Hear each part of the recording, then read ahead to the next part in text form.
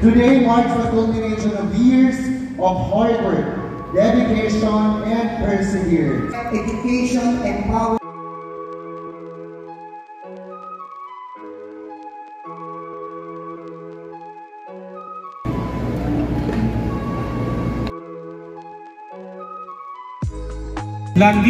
Frederic G.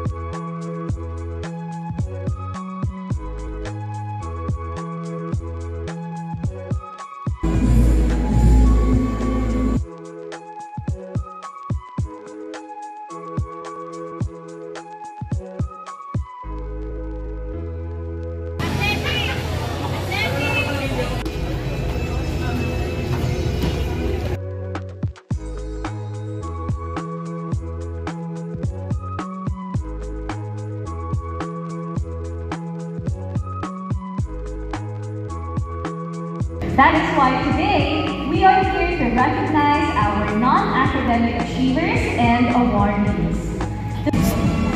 Landicho Frederic